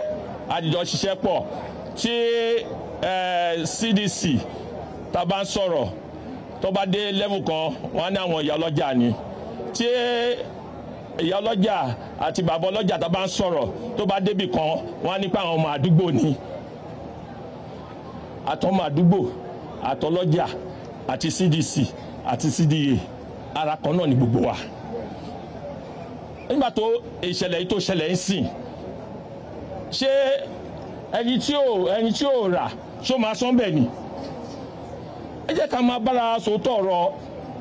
Ẹ jẹ́ ká máa bára sòótọ́ ọ̀rọ̀. Àwọn àdúgbò tẹ̀ sọ yẹn gbogbo aná dá wọn mọ̀ náà. Ṣé wọ́n fẹ́ ga ju ìjọba lọ ni? Wọ́n fẹ́ ga ju ìjọba lọ ni? Ẹ jọ ń tọrọ lọ́hùn ẹ̀bẹ̀ mi nìyẹn. Nǹkan tí mò ń bẹ̀ yín ni pé ọ̀gá wa wọ́n ṣe akitiyan láti jẹ́ pé gbogbo nǹkan padà bọ̀ sípò. Láti ran gbogbo wa lọ́wọ́ láti make sure pé ìṣẹ̀lẹ̀ tó ṣẹlẹ̀ yìí kò ṣẹlẹ̀ mọ́ ní Lagos Island. Adẹ gbàdúrà ọlọ́run ò ní jẹ́ kí ìṣẹ̀lẹ̀ bẹ́ẹ̀ náà kó ṣẹlẹ̀ mọ́ o. Ọlọ́run á ràn gbà lọ́wọ́ inú wa dùn ayọ̀ wa kú o. Ọlọ́run fòfò rẹ̀ mi o. Ẹ ṣé mo dúpẹ́. Thank you, Honorable Commissioner. Um, as we were speaking, we uh, noticed that the Yaloja General uh, also has come in. Can we put our hands together for Yaloja, please? Yaloja General, Lagos Island, Idera, Lim Limota, Adebayo, Adeboye, Adeboye. No, ma. Chief Risikat Abejela Sisi, we apologize. Thank you so much for coming us, for joining us. Thank you very much, ma. Um, just before we continue, I also mentioned that we had Mr. Funsho Doherty here, and um, he has a few words to share with us. Just a few words to share with us. We would like to have you here. We, we, we thank you for joining us here. Uh, we would like to hear from you. Thank you so much for taking out of your time to join us. Thank you so much. Please, can we put our hands together for him? Thank you very much. Good afternoon. Good afternoon. Ẹ. Àwa kan wá kí yín ni o um, pé nǹkan tó ṣẹlẹ̀ yìí um, nǹkan tó bà wá nínú jẹ́ ni kì í ṣe nǹkan tá a fẹ́ rí ọlọ́run adé jẹ́ kọjọ́ jìnnà síra. Um,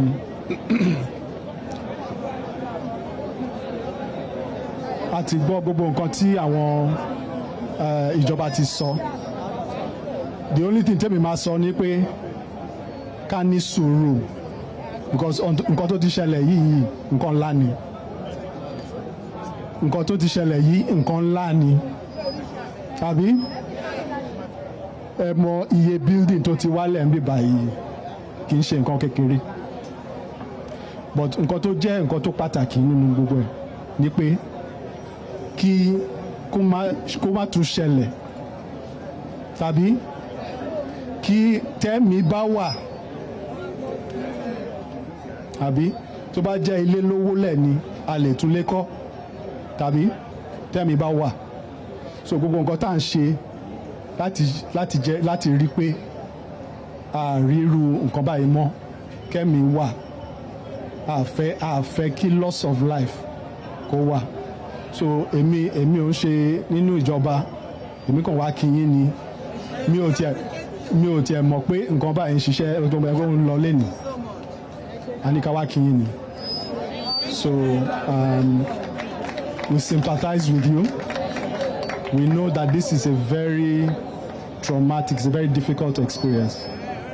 Kò sẹ́ni tó máa rí eléyìí tó tínú ẹ̀ máa dùn. Kò sí. So we are with you. We stand with you. And um, we are here to support you in whatever way we can. Thank you so much, sir. Um, I've just been told that we are running out of time. Uh, I mentioned earlier at the beginning that we have somebody from AXA Mansard Insurance who is coming to tell us about insurance policies. Earlier, um, one of the people from the government, I think the commissioner, talked about insurance. You should have insurance policy for your shop or for your building or for your house so that God forbid if something like this happens, we know that you are covered by insurance. So we have somebody from AXA Mansard Insurance. We have uh, Mikhail Balogun is business sales supervisor, AXA Mansard Insurance. who wants to speak with us, speak to us on what we should do, what we can do in cases like this. We have just about three minutes. Thank you so much. Thank you very much. Uh, good afternoon, everyone. My parents and the government officials, um, all uh, protocol duly observed. Thank you for having us. Um, a ní rírú ẹ̀ mọ́ o. Gbogbo nǹkan tó ti ṣẹlẹ̀ sí wa ọlọ́run á fòfò rẹ̀ mí. Um, what I want to say they have advised us before. Wọ́n ti ṣàlàyé fún wa tẹ́lẹ̀ bí insurance ṣe jẹ́. Insurance jẹ́ bí àjọ tó jẹ́ pé gbogbo wa àjọ kó pọ̀. Everybody tó nírú situation bẹ́ẹ̀ yẹn mo ní building mo ní shop iná dẹ̀ lè jó so gbogbo wa jọ kó pọ̀. Ẹni tí irú ilé bá ṣẹlẹ̀ sí á owó náà wọ́n á fi support wọn. Bí insurance ṣe rí nìyẹn. Ṣùgbọ́n nǹkan tí mo fẹ́ sọ because time kéré a mọ̀ pé oríṣiríṣi insurance ló wà tá a lè bá sọ̀rọ̀ lórí ọ̀rọ̀ yìí. For insurance kó tó lè ṣeé ṣe for us to be able to access the benefits of insurance ó gbọ́dọ̀ bẹ̀rẹ̀ látọ̀dọ̀ wa pẹ̀lú gbogbo nǹkan tí wọ́n ti ń sọ látàárọ̀. Housekeeping. A gbọ́dọ̀ make sure àwọn honourable náà sọ nípa generator kéèyàn gbé generator sórí òkè irú gbogbo nǹkan yẹn kò kí ń jẹ́ kí insurance kò ṣe kó kó kó lọ déédéé irú nǹkan bẹ́ẹ̀ yẹn nǹkan mẹ́ta ni iná fi máa ń iná fi máa ń jó. Iná ó láìkì ooru. Níbi tí ooru bá ti pọ̀ so níbi tá a máa máa gbé àwọn jẹnẹrétọ̀ wá sí a gbọ́dọ̀ jẹ́ pé ó jẹ́ ibi tá a fẹ́fẹ́ ń fẹ́ sí. So àwọn management ọjà wọ́n gbọ́dọ̀ help wa láti ṣerú nǹkan báyìí tó jẹ́ pé ibi tí jẹnẹrétọ̀ máa wà kò ní jẹ́ pé ooru máa mú níbẹ̀. Èkejì òun ni àwọn fuel. Ṣé rí gbogbo nǹkan tó wà nù ọjà fuel ni. Ṣùgbọ́n tẹ bá finá sí pépà àjò. Tẹ bá finá sáṣọ àjò. Everything in the market is like a fuel. A gbọ́dọ̀ make sure pé the way ta ṣe ń keep nǹkan ó gbọ́dọ̀ ó kò súnmọ́ra wọn bíi pé ẹ jẹ́ n ṣàlàyé kan tí n bá ní ṣọ́ọ̀bù níbí tí mo ti ń tajà kí warehouse mi kó tún wà níbòmí ọlọ́run níjà rófò sódà tó bá tiẹ̀ máa ṣẹlẹ̀ níbì kan kò ní jẹ́ pé gbogbo nǹkan ló máa lọ sí irú insurance táwa náà lè ṣe fúnra wa nìyẹn ṣe rí gbogbo. So, so I'm, I've been talking about the housekeeping, all right? The way I said that fire thrives on one, heat. And I said that the way we keep our generators or any machine that produce heat must be in a place whereby there is ventilation. So that when this machine gets heated, and they will not catch fire. Second one is that I'm saying that everything we use in the market is like a fuel. Paper is a fuel, cloth is a fuel, wood is a fuel, plastic is a fuel. All these things we must make sure that we are conscious of where we put them, how we arrange our stores, how we arrange our places. Another advice I, I'm giving is that you can also separate your shop where you sell from where your warehouse is so that uh, when uh, damage like this happen it will not be a total loss for all of us every other technical things um, we can then engage insurance company to to help us put them together and uh, support us in terms of um, in terms of insurance i pray that this kind of thing will not happen again but one things we can one one of the things we can do in case of eventualities, things that we do not see, we do not expect that will happen, is to take insurance for many things. It's not only fire. It's not only fire. We take insurance for a lot of things, for burglary as well, and you know for our life for our life as well. Another insurance we can take. eléyìí ti ṣẹlẹ̀ ó ti ṣẹlẹ̀ nìyẹn this has happened we have to also take care of ourselves gbogbo promise tí wọ́n ṣe fún wa ọlọ́run jọ̀ọ́ bá wa láyé ẹ jọ̀ọ́ ẹ máa chẹ́ẹ̀kì bp yín ẹ máa tọ́jú ara yín because tẹ́mi bá wà ìrètí náà wà ẹ ṣé. Thank you so much. We also like to recognize the presence of Prince Fuad Oki. Thank you so much. Okay. Thank you so much for coming, sir.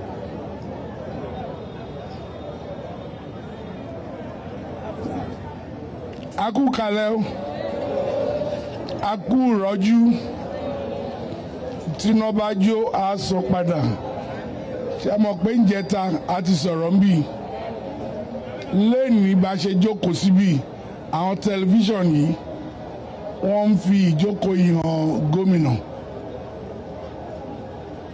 Bá ṣe jókòó wọ́n ń wò láti ọ́fíìsì.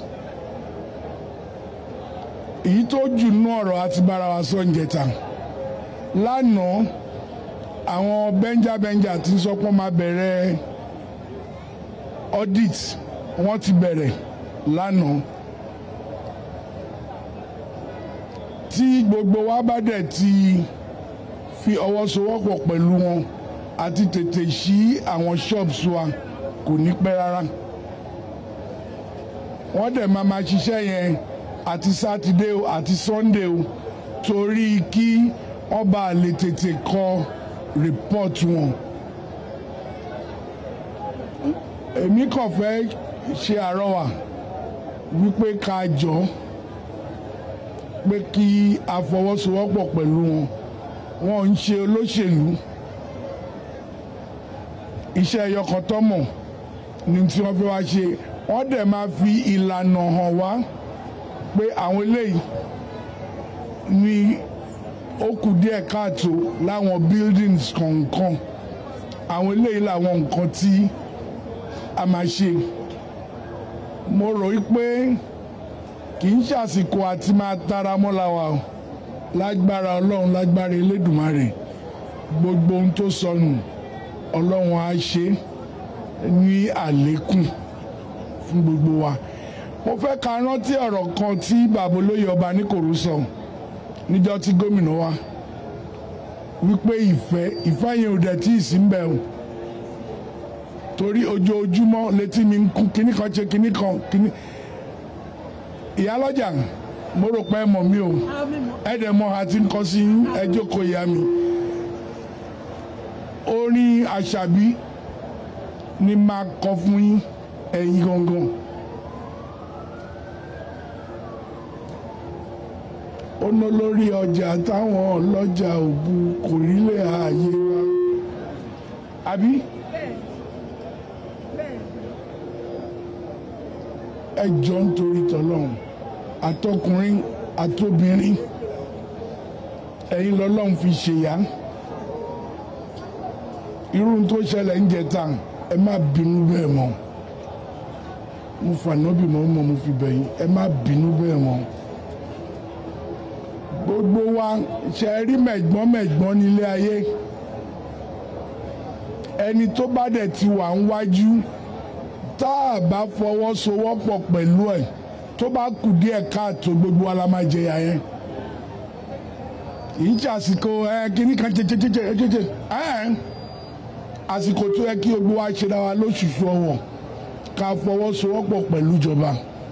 Ojoojúmọ́ èmi màmá wá sàdúgbò láti rí pé àwọn tí wọ́n ń ṣe iṣẹ́ báwo la ṣe máa padà sí ṣọ́ọ̀bù wa lásìkò wípé gbogbo ìrànlọ́wọ́ tó bá need pé màá lè máa dúró tì wọ́n láti rí pọ́n rí ṣe ẹ̀yin náà láti fọwọ́sowọ́pọ̀ lórí ntí a wà jama gómìnà sọ pé oṣù mẹ́rin jẹ́ àbí oṣù mẹ́rin yẹn ò lè tọ́sẹ̀ mẹ́rin.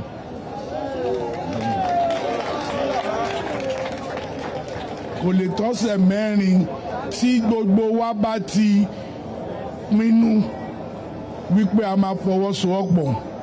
Tí gbogbo wa bá ti pinnu wípé ohun tó ṣẹlẹ̀ yìí a ní jẹ́ kó ṣẹlẹ̀ mọ́. Torí àìkòbìkítà wa ni o. Àìkòbìkítà ni o. Bá a ṣe ń sọ̀rọ̀ lọ́wọ́ àwọn tí wọ́n ń tepo wọ́n sì ń tepo àmọ́ ẹ rántí pé mi ti sọ pé lágbára ọlọ́run ilé tá bá ti ní pọ́n tepo ilé yẹn máa dìtàn ni. Yes we will pull that house down.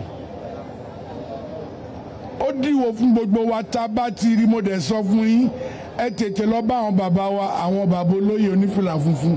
Nǹkan báyìí ń ṣẹlẹ̀ o. Wọ́n á dìde sí i.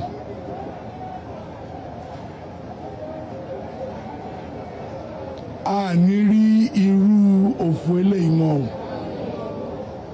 Elédùmarè á bá wa ṣe ní ọ̀tún ọ̀tún ọ̀tún.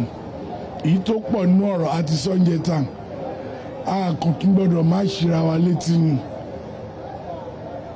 A lè gbàdúrà wípé kí okòòwò pé kó má ṣẹlẹ̀ lérékùṣù èkó. A dẹ̀ ti mọ̀ pé tó bá ti ń pẹ́ làwọn tó wá ń bá wa nájà máa máa wo bòmíì nítorí náà ẹ jọ̀ọ́ nítorí ìtọ́lọ́hún ẹ jọ̀ọ́ nítorí tẹlẹ́dùmarè ẹ jọ̀ọ́ gbogbo ohun tí ó yẹ ká ṣe tí àwọn onílànà yẹn bá ti ń wá ẹ jẹ́ ká fún wọn ní ìfọwọ́sowọ́pọ̀. Ọ̀rọ̀ kọ́máyọ̀ kanopi kọ́máyọ̀ gba kì í ṣe ìyá ọlọ́jà nìkan ni o gbogbo wa ni o. Mo dẹ̀ fẹ́ kẹ́ nǹkan kan dání. Ẹ ìjọba ni tó bá dẹ̀yìn oṣù mẹ́ta ẹ wò ìyá ọlọ́jà ẹ dìde ká ẹ wò. Agídí mo ti sọ o wípé agídí ata kò lè tó tọmọ ọlọ́ o. Ìjọba lọmọ ọlọ́ o á lọ onítọ̀hún adán eléyìí ò dáa ibi ẹlẹ́ẹ̀kẹta tá a máa ṣe pàdé ni. Ṣẹ̀dá àwọn jàǹkárì wọ́n tó ń ní canopy. Cbd ẹ̀rọ ajẹ́ káwọn ọmọ yín kọ́ máa já lẹ̀ ká tó kúrò ń bí sìn kọ́ lọ já sílẹ̀ ká tó kúrò ń bí sìn. òfin tí gómìnà dẹ̀ sọ lórí canopy lórí generator local government wide ni o. Kò dá àdúgbò kan sí kó fà àdúgbò kan lẹ̀ o. Ní Lagos Island kò lè sí canopy extension in any way in any manner whatsoever. Kò lè sí o. Ọ̀rọ̀ àwọn àbúrò mi ládùúgbò àwọn ni wọ́n ń to. Ẹ lọ́ ń tò pàtẹ lọ́ ń to gbá. Ẹ̀yin ẹ fìyẹn lẹ̀ pẹ̀lú ìjọba pẹ̀lú àwọn ará àdúgbò àti CDA àti CDC àmọ́ èyí tí gómìnà ti sọ ó di ègún ó dàṣẹ àní rí nira o ẹ ṣé mo dúpẹ́ o. Yes, yes, sir. Thank you so much. Uh, we are gradually coming to the end. But before we do that, uh, there's there's one man here who spearheaded this whole arrangement. He's the one that decided that even though as New Central TV we say we are Africa first, we are from Nigeria, but Lagos is our home. So whatever affects Lagos affects us. If Lagos is not at peace, we will not be at peace and we will not be able to broadcast the news. Even if we don't have silver or gold, this platform that we have as a TV station, as an international TV station, is what we would use to help the people whenever we can. I would like to introduce the managing director and editor-in-chief of New Central Television, who made sure that this platform stands for the people of Lagos and the market. Mr. Kayode Akintemi, he's the one who started this.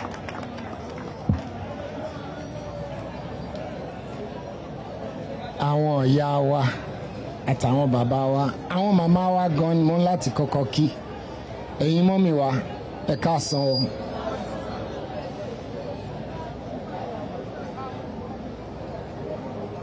tí wọ́n bá ń sọ pé àwọn èèyàn ọmọ èkó èmi á ní ọmọ èkó ni mí torí wọ́n forí mi sọlẹ̀ sékòó ni. Èbúté mẹ́ta ni wọ́n bí mi sí nílé ayé mi o. Nineteen eighty six ni mo máa kọ́kọ́ ṣiṣẹ́. Ibi tí mo dẹ̀ ti kọ́kọ́ ṣiṣẹ́ Radio Nigeria to Martin Street lẹ́gbẹ̀ẹ́ Broad Street ń bí báyìí. Nineteen eighty six àwa la wà ń bẹ̀ láyé ìgbà yẹn tá à ń ṣọmọ boy. Nineteen eighty six so gbogbo àdúgbò yìí àrẹsẹ̀pa ni all the way from nineteen eighties till now èkó dẹ̀ dùn. Ó dùn débi pé àtàrà oko àtàrà òkè o gbogbo wọn náà ń wá sẹ́kọ̀ọ́ tí wọ́n fẹ́ wá gbádùn èkó. Wọ́n bá wà lábúlé wọ́n bá ń gbúrò èkó wọ́n fẹ́ wá sẹ́kọ̀ọ́ wọ́n wá wá láti ìrìn àjò wọ́n bá gbúrò èkó wọ́n fẹ́ wá sẹ́kọ̀ọ́ kò sí ẹni tí ò fẹ́ wá sẹ́kọ̀ọ́ ṣùgbọ́n wá dẹ́kọ̀ tán àwa ń wo bẹ́ẹ̀ kò ṣe wá rí. Àdúgbò yìí ó dáa jù báyìí lọ ó dùn jù báyìí lọ tẹ́lẹ̀. Adẹ̀ láti wá ọ̀nà tá a máa fi ṣe tó máa fi dùn. Èkó tún láti dùn kó dùn kó múnú gbogbo wa dùn ni. Àdúrà gbogbo wa nìyẹn. Nǹkan tó ṣe táwa fi sọ pé à ń láti máa ṣe lè ni pé láti ìgbà tí mo ti bẹ̀rẹ̀ television station yìí mo ti kọ́kọ́ ṣiṣẹ́ ní channels mo ṣiṣẹ́ ní arise mo ṣiṣẹ́ káàkiri. Mo lọ ghana mo ṣiṣẹ́ mo ṣiṣẹ́ ní london. Ṣùgbọ́n mo ní ní nàìjíríà àti ní áfíríkà à ń láti ní television station kan tó jẹ́ pé tó bá sọ pé wọ́n ń fi ìka sí orí bíi tí ẹ̀jẹ̀ ń gbà wọ ara èèyàn báyìí wípé wọ́n mọ ìgbà tó dùn àti ìgbà tí ò dùn. À nírú tẹlifíṣàn yẹn nàìjíríà à dẹ̀ ní láfíríkà torí ẹ̀ mo ṣe ní news central o wípé à ń láti máa ṣe nǹkan tí àwọn olóyìnbó ń pè ní pé feeling the pulse of the nation and of the people. À ń láti mọ nǹkan tí àwọn èèyàn tó jẹ́ ìrírí wọn tó jẹ́ experience wọn nǹkan tó ń dùn wọn lọ́kàn. Torí tán bá ní ìjọba ẹ̀yà mẹ́ta ni àwọn kan tán jẹ́ politician wọ́n pera wọn ní executive àwọn yẹn náà ń ṣèjọba àwọn kan tán jẹ́ pé àwọn náà ń ṣòfin wọ́n pera wọn ní legislature.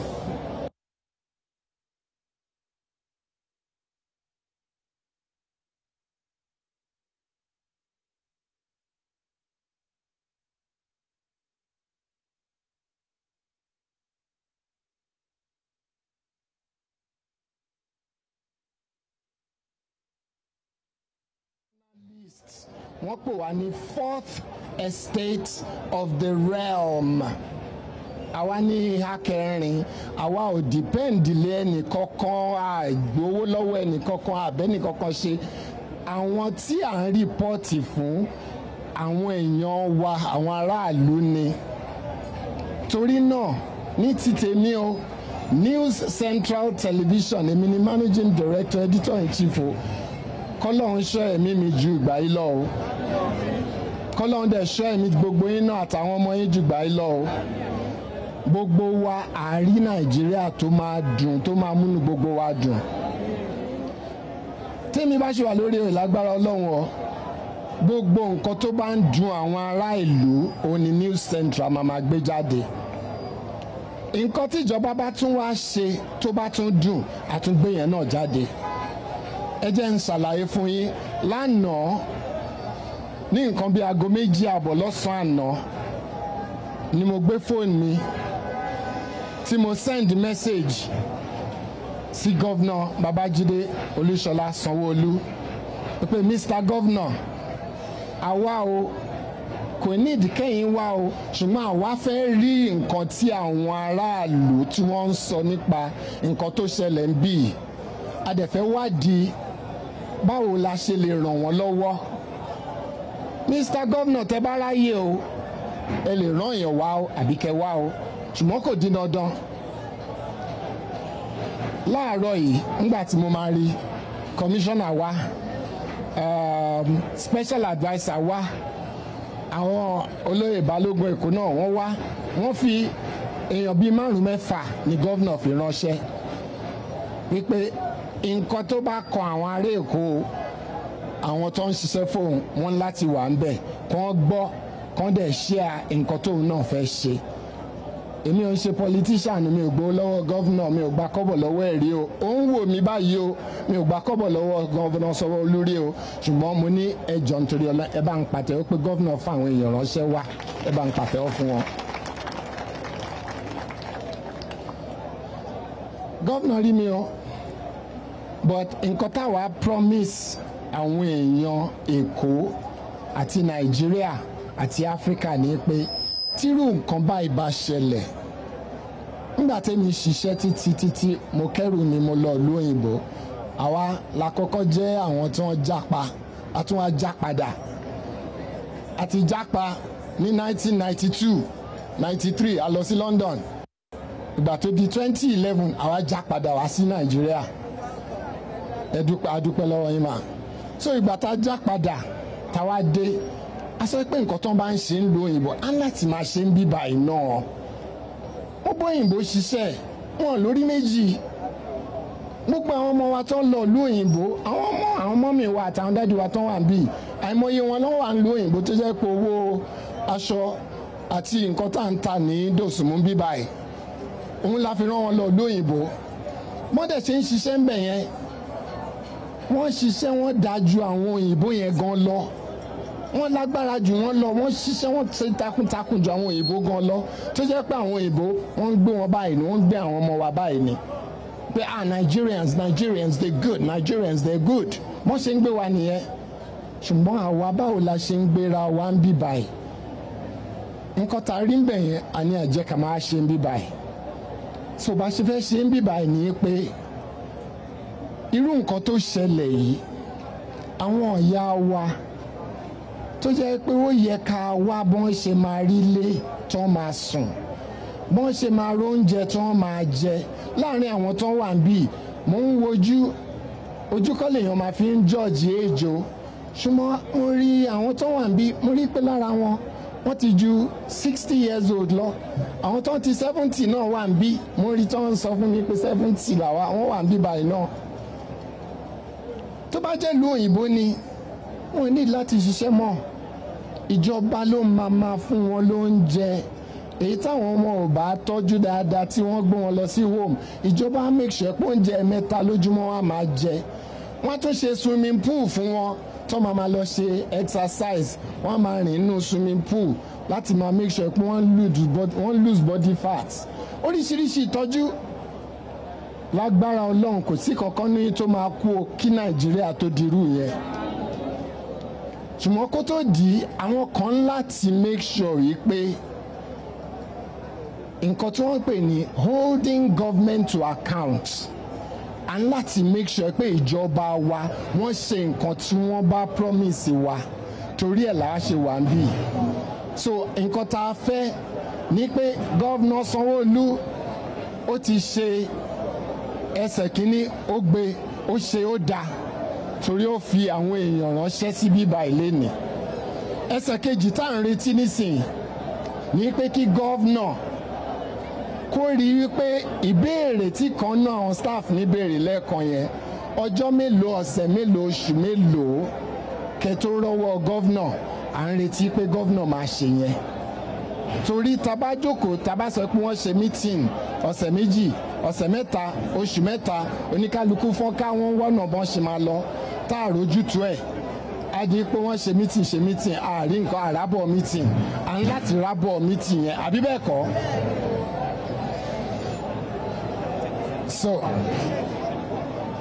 nǹkan tá à ń try pé ká ṣe ni pé gbogbo àwọn aráàlú à ń láti make sure ń láti make sure wípé àwọn aráàlú wọ́n gbádùn nǹkan tá à ń pè ní democracy yẹn. Torí gbogbo yín lẹ dìbò. Èmi ò kí ẹ̀yin tẹ́ dìbò fún oníkálukú nǹkan tó bá wù kó ṣe ẹni tó bá wù kó dìbò fún. Ṣùgbọ́n ẹni tẹ́ bá dìbò fún tó wọ̀jọba ó ń láti ṣe nǹkan tó promise yín. So gbogbo nǹkan tó ń promise yẹn ó di dandan kẹrí and iṣẹ́ títí wa ní pé à á máa ràn yín lọ́wọ́ láti máa rán wọn létí. Àní jẹ́ kó tù wọ́n lára jù débi pé wọ́n ti wòye pé àwọn gbàgbé nǹkan táwọn promise. àní jẹ́ kó tù wọ́n lára o.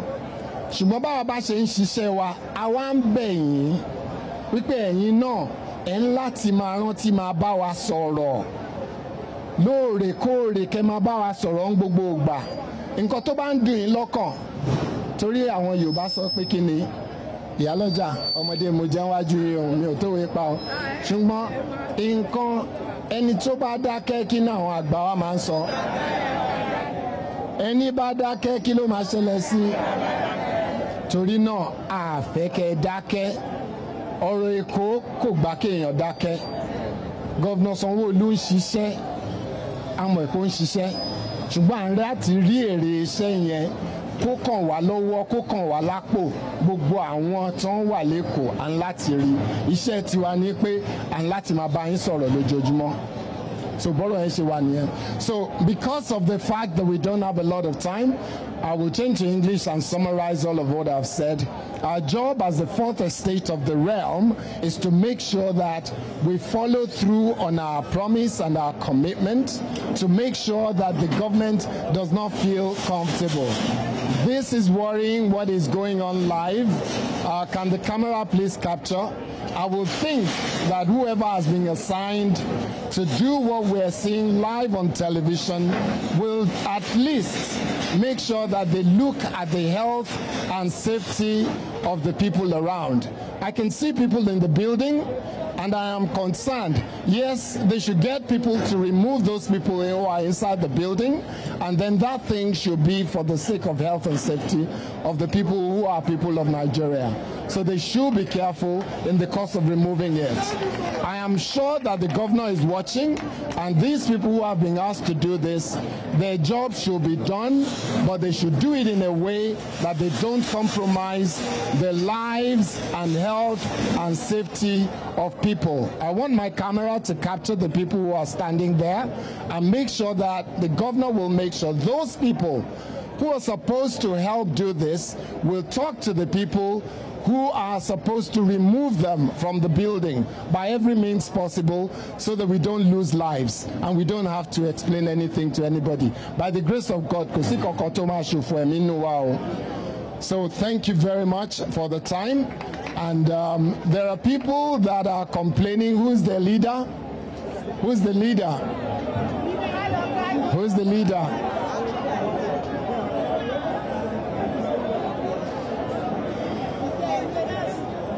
Yeah, who is the leader?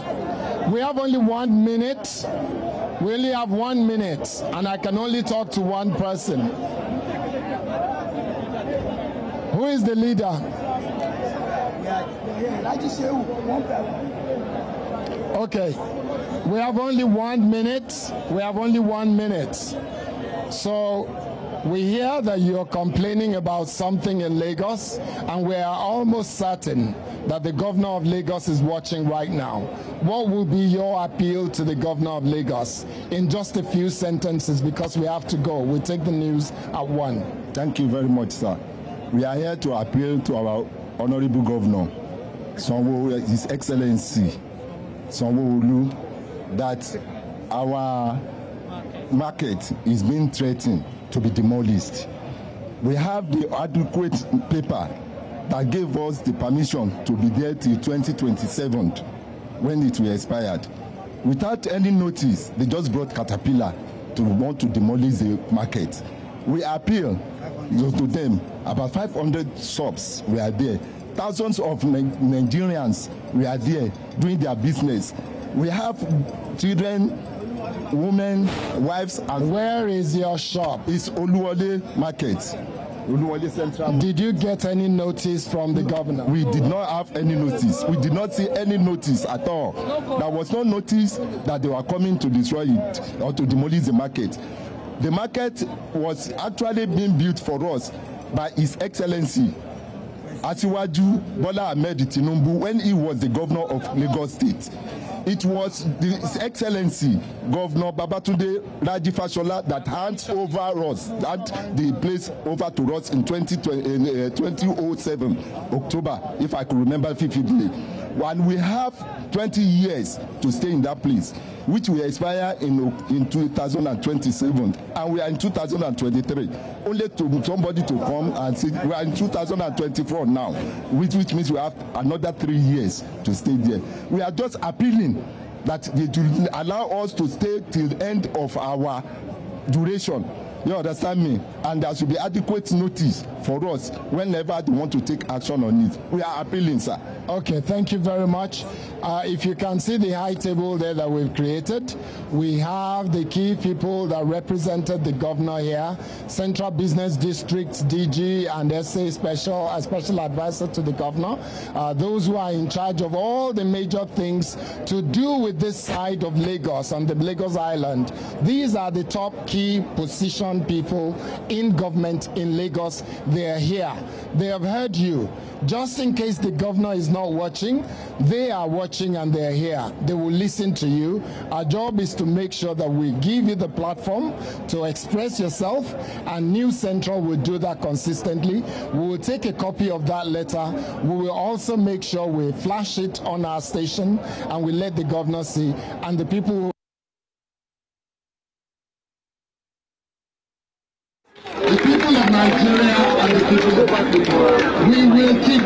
what we're doing. Thank you very much.